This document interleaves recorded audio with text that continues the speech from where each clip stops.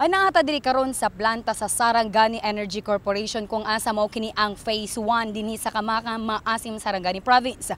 Sa pagkakaron anaa pa lamang sila sa initial firing kung diin laumang 105 megawatts nga kuryente ang ilahang mahatag kung sila mo commercial na og operation. Yes ma'am, Ah, mayroon lang pong konting tinatapos yung mga konting mga remaining works, finishing works sa electromechanical works.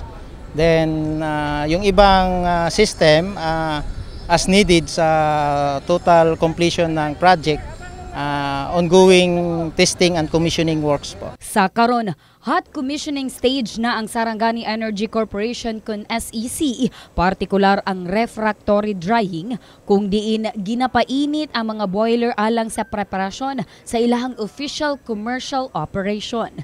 So before that, dami pang testing, no? Testing, testing. Steam blowing, safety valve testing, tapos ah mag-shutdown pa to to remove the temporary pipes. Pagkatapos yan, eh, ready na yung turbina. Pag okay na yung pH, conductivity at saka silica content ng steam, throw the sample, kunin natin yung mga sample. Pag okay yung tatlo, pasado na, so pwede na mag-rolling ng turbina. Nasayran nga krudo pa karon ang gamit sa SEC alang sa ilahang initial plant firing ug dili pa uling ang ilahang gamit.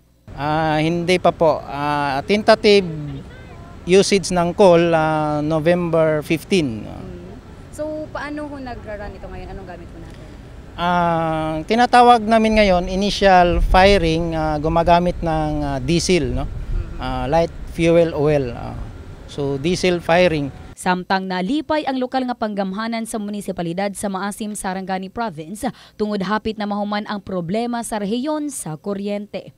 uh, kining magbenepisyo sa maong uh, power plant is not only the locality of uh, the municipality of Masim but uh, to include uh, other parts of uh, Mindanao no Uh, dahil na experience nato sa mga miaging tuig in the past years uh, we really experience uh, power shortage no Dugang pa nga mokabat sa sobra 10 milyones ka pesos matag tuig ang pwedeng mahatag sa SEC nga tabang sa ekonomiya sa Maasim.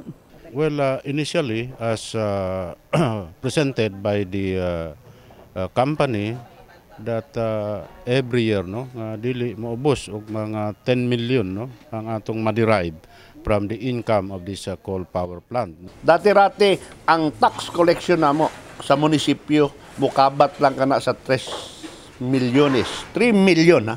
Apan pagsugod sa pagtukod sa kumpanya, ha?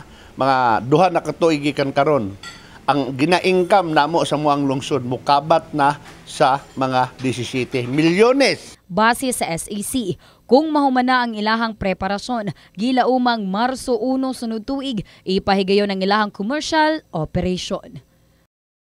Abi Lorenzo, Brigada News.